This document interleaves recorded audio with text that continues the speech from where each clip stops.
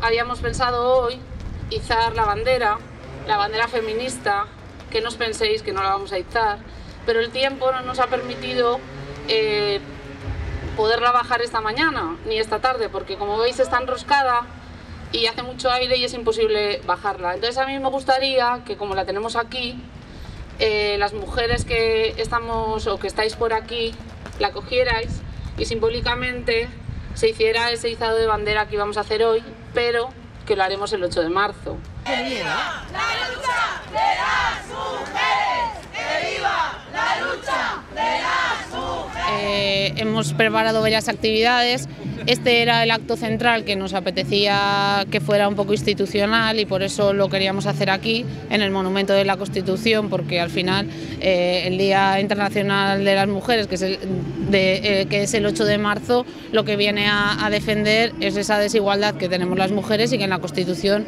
dice que todas somos iguales. El domingo, aprovechando que la caravana feminista va a ir por diferentes pueblos de la comarca y vamos a comer aquí en Alcañiz, en la Plaza Constitución, pues bueno, izaremos la bandera ya no simbólicamente, sino hasta arriba, si el tiempo nos lo permite, eh, el día 8 a las 2 de la tarde. Y hacemos un llamamiento a toda la ciudadanía, a las instituciones y a las organizaciones para que se sumen a la conmemoración del Día Internacional de la Mujer, el Día Internacional de todas las mujeres. Ista, ista, ista, Alcañiz es feminista.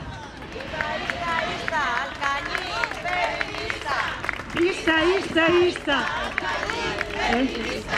Activista. Eh?